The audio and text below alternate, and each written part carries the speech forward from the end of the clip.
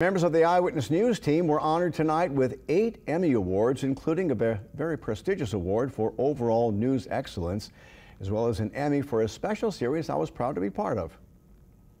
The next Emmy goes to New Orleans Cuba Connection, Eric Paulsen, Steve Wolfram, WWL TV, New Orleans, Louisiana. This is the Amadeo Roldan Music Conservatory in Havana, a prestigious Cuban school of music. And on this day, the kids here are hosting some high schoolers from New Orleans with the Trombone Shorty Foundation. Our series on New Orleans Cuba Connection won a regional Emmy tonight in the arts and entertainment category. Big congratulations to photographer Steve Wolfram and his reporter, some guy named Eric.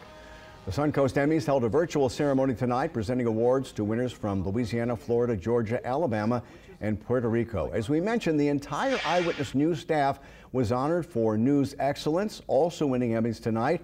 Katie Moore and Derek Waldrop for their new special, Mystery in Ashes. Derek also won two other Emmys for his work with Karen Swensen in the religion and human interest categories.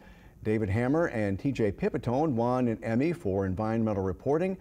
Uh, producer Kagan Moore won for arts and entertainment programming, and photographer Adam Kopis was honored for his editing in the editing category. Adam was also nominated for two other entries with Cherise Gibson. Once again, congratulations to all the winners.